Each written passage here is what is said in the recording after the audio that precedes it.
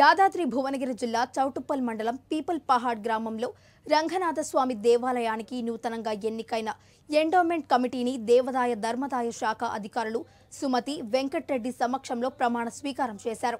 ఈ సందర్భంగా కమిటీకి సహకరించిన ఎమ్మెల్యే కూసుకుంట్ల ప్రభాకర్ రెడ్డికి సభ్యులు కృతజ్ఞతలు తెలిపారు.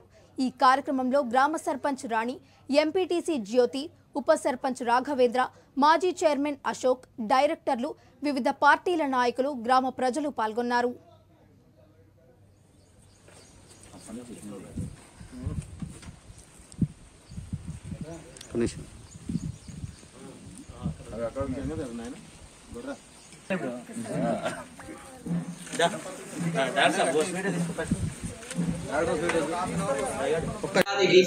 లో అత్యంత వైభవంగా రంగనాథ స్వామి టెంపుల్ ఉన్నది. ఇది మన తెలంగాణ ఆంధ్రప్రదేశ్లోనే రెండవ దేవస్థానం. ఇది ప్రతి సంవత్సరం మేము జాతర వైభవంగా చేస్తాం. గ్రామ ప్రజల ఆర్థిక సాయంతో చందాదారులు శాశ్వత చందాదారులు ప్రతి ఒక్కరూ ఐదు వేల రూపాయలు పదివేల రూపాయలు ఇచ్చి వాళ్ళ సహకారంతో జాతర కార్యక్రమాలు నిర్వహిస్తాం. మరియు మా గ్రామంలో కొంతమంది యువతి యువకులు చాలామంది పెద్దలు చిన్నలు అందరూ సర్పంచ్ ఎంపీటీసీ అందరం కలిసి నిర్వహించుకుంటాం.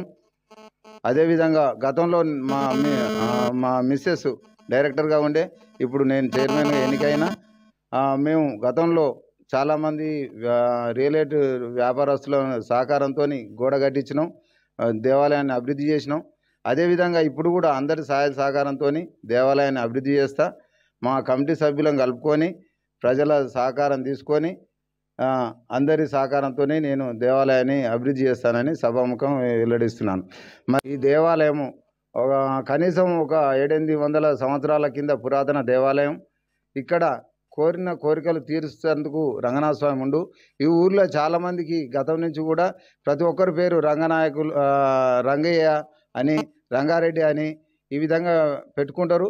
ఈ దేవుడు పిలిస్తే పలికే దేవుడు కొలిస్తే వరమిచ్చే దేవుడు ఆ విధంగా వర్ధిల్లుతుండు కాబట్టి మనం అందరం భగవంతుని సేవల కొలుచుకుంటూ ముందు ముందు అభివృద్ధి చేస్తాని సభాముఖం like share and subscribe master TV